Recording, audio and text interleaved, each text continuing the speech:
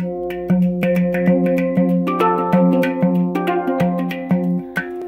have so much gratitude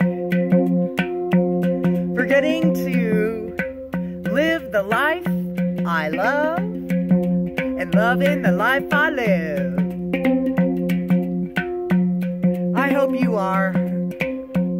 I hope I get to see you soon. Part of loving the life I live is traveling. Here we are in South Lake Tahoe. We're on our way to Las Vegas for Bone Dance on Saturday night at Sekhmet's Temple. We have a very special pre-program on Friday night called Conversations with Our Ancestors.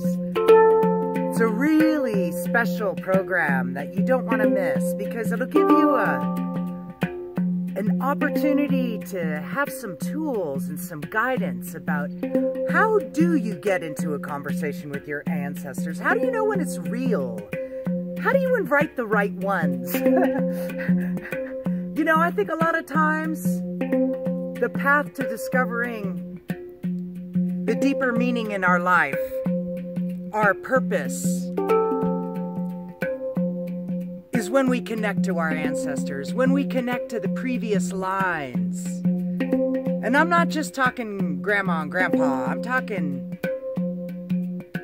your soul's lines. So join us on Friday night for conversations with our ancestors. And then Bone Dance on Saturday night and very special program. I love doing programs at Myrrh Manor, a very special place to have a house concert.